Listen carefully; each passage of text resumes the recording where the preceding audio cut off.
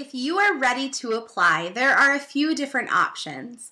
The first is to simply go to the Zebra English website, which is just zebraenglish.com. And once there, you can choose to apply directly on the website. But you should know if you apply through the website, you are forfeiting the chance to work with a referring teacher. And right now, with it being so much more um, difficult to be hired as a teacher, I would highly advise against this.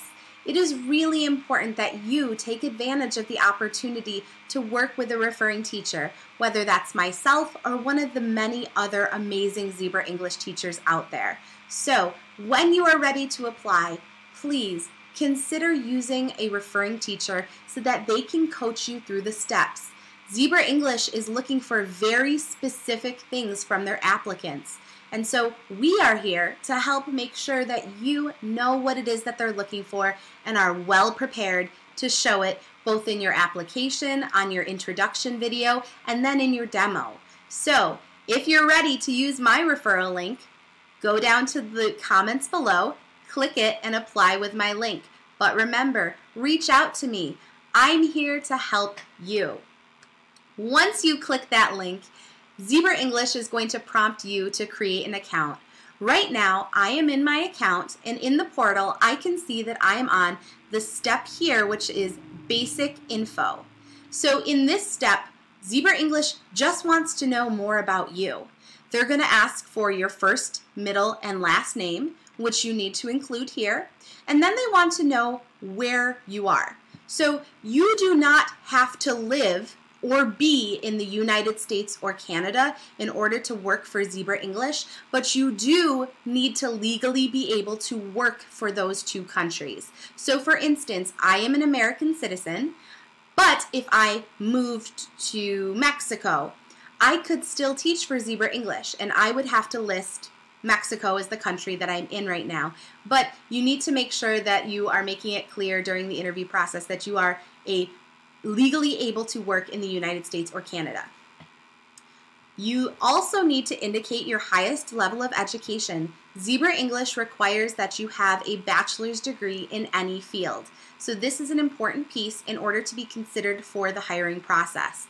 If you do not have a bachelor's degree, please reach out to me. There are other companies that may be a good fit for you, and I would be happy to help. And if you join my Facebook group, Become an online teacher dash hiring help. We have many resources to help steer you in the right direction. Once you've listed your level of education, you need to include your phone number. And this is actually a very important part. Zebra English does not currently have a phone app. And so what they do is they send you emails and text messages. So having a phone number listed here is important and I highly recommend that you use your cell number because when they send you reminders like you have a class in 30 minutes, it's going to go to whatever phone number you've listed here. The next step is to include a Skype account. If you don't already have a Skype account, go and make one. They are free and they are very important for Zebra English. So I have not had to use it yet, knock on wood, but if there was ever an issue with my platform, let's say it was time for me to log into class and it wasn't working, I would go on Skype and talk live to a representative from Zebra English to help troubleshoot. So having that Skype account is very important for communicating with Zebra English in the case of an emergency. The next piece is the length of your teaching experience slash career. So you do not need formal teaching experience. This is asking how long have you worked with children? So if you are a nanny, if you work in a child care center, if you are a bus driver or an aide in a classroom, if you are a sports coach, um, if you volunteer at church with the children, this is where you're going to list the length of your time working in that position.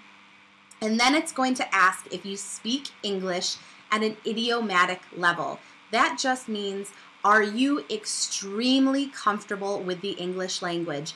It does not need to be your first language, but you should have a North American accent, and you also need to have proper pronunciation, good sentence structure, and a very firm grasp on English grammar.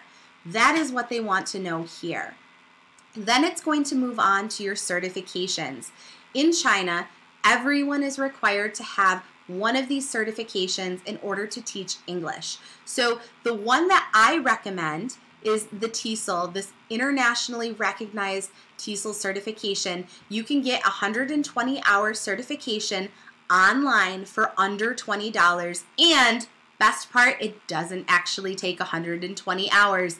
If you are ready to take that course, check out my link below and it will take you directly to the Open Academy website where you can purchase a purchase a subscription to that course so that you can work through the coursework and it is less than $20.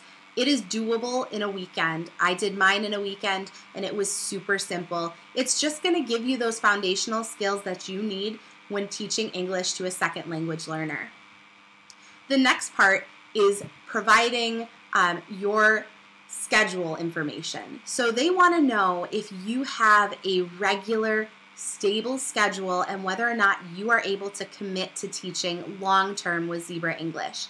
The contracts that Zebra English offers to teachers are six month contracts, and they want to make sure that you're able to teach for that time. So with Zebra English, they do things a little differently than other companies. In my other company, Qkids, we are booked randomly with random students, and I don't usually see the same student more than once.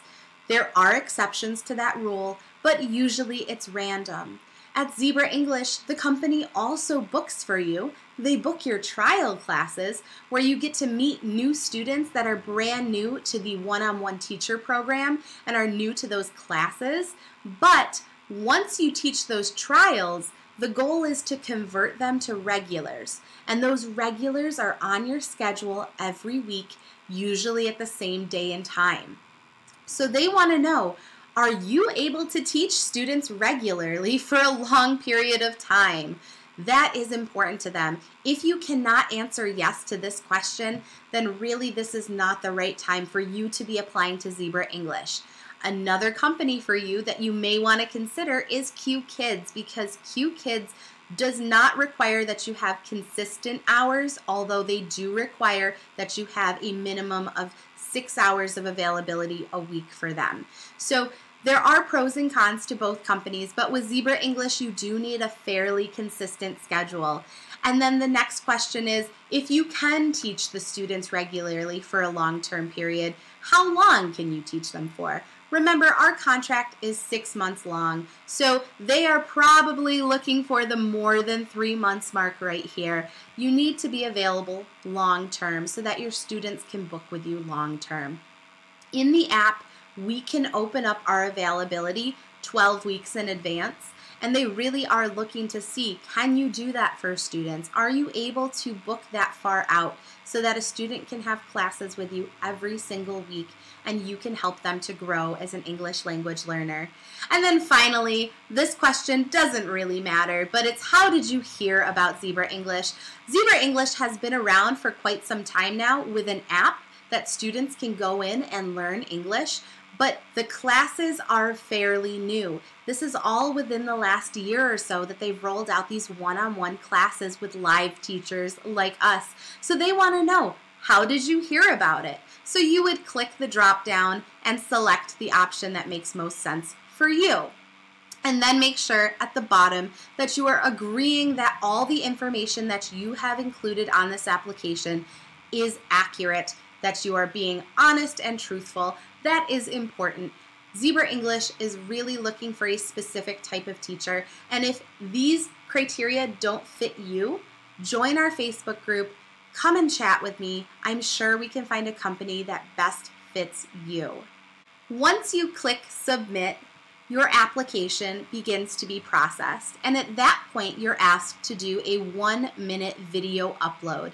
This video upload is going to be in my next video. I've actually already uploaded the video that I used back when I was hired, but you probably are going to want to make your video even better than mine because the hiring criteria is even stricter than it was when I applied. So, well, you can go and visit my video to see what a sample video might look like.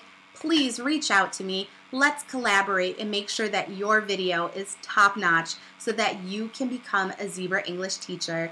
And if you're looking for more information on how to create your video, my next video upload will be all about creating that one minute introductory video. I hope to see you soon. Bye bye.